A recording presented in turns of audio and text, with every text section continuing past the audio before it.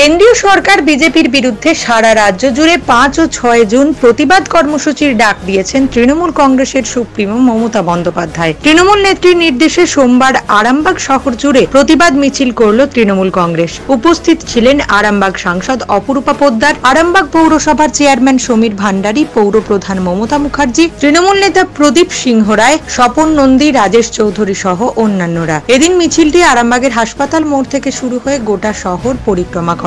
সাংসদ অপরূপা পোদ্দার বলেন, কেন্দ্রীয় সরকার অপদার্থ কেন্দ্রীয় সরকার। বিজেপি হঠাৎ করেই একশো দিনের কাজের টাকা দেওয়া বন্ধ করে দিয়েছে। বাংলাকে বিভিন্নভাবে হেনস্থা করার চেষ্টা করছে বিজেপি সরকার। একশো দিনের কাজের টাকা বন্ধের পাশাপাশি পেট্রোল ও ডিজেলের দাম লাফিয়ে লাফিয়ে বাড়িয়ে চলেছে কেন্দ্রীয় সরকার। নিত্য প্রয়োজনীয় জিনিসের দামও আকাশ ছোঁয়া। তাই কেন্দ্রীয় সরকারের বিরুদ্ধে নেত্রীর নির্দেশ মতো এদিনের এই মিছিল।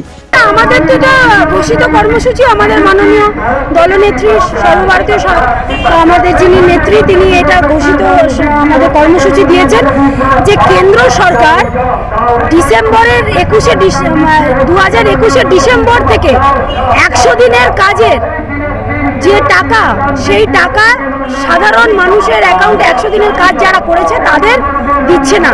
তার প্রতিবাদে আমাদের এই মিছিল, আমরা ব্লক স্তরে, বুথ স্তরে আমাদের নেত্রী মমতা বন্দ্যোপাধ্যায়ের নির্দেশে আমরা এই মিটিং, মিছিল করছি, এই আন্দোলন করছি।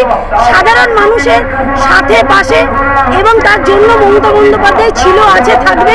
এই আন্দোলন ততদিন অবধি চলবে যতদিন পর্যন্ত একশো দিনের প্রাপ্য টাকা সাধারণ এক খেটে খাওয়া মানুষের যারা একশো দিনের কাজ করেছে, তাদের অ্যাকাউন্টে যতদিন না পৌঁছবে। কারণ এটা তাদের অধিকার, এটা সংবিধান বলছে যে তাদের টাকা, তাদের সময় মতো প্রাপ্য টাকা যাতে পৌঁছে যায়। এটা নরেন্দ্র মোদীর গভর্নমেন্ট, ভারতীয় জনতা পার্টি এটা কেন করছে?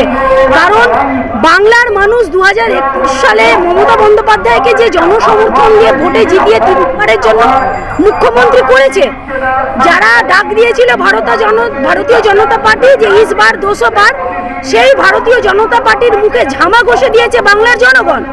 তাই তাদের পেটে মারার জন্য এই ধরনের চক্রান্ত করছে মোদী সরকার।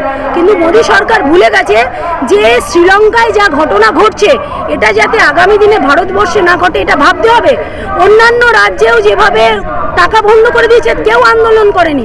কিন্তু আমার নেত্রী আন্দোলনে নেমেছে। আমরা তার সৈনিক হিসাবে সমস্ত আমরা যারা জনপ্রতিনিধি আমরা দলীয় কর্মী যারা রয়েছে আমরা সবাই নেমেছি সাধারণ মানুষের স্বার্থে একশো দিনে খেটে খাওয়া মানুষের স্বার্থে। এই আন্দোলন চলছে চলবে আমাদের নেত্রীর আদর্শ এবং নির্দেশ মেনে।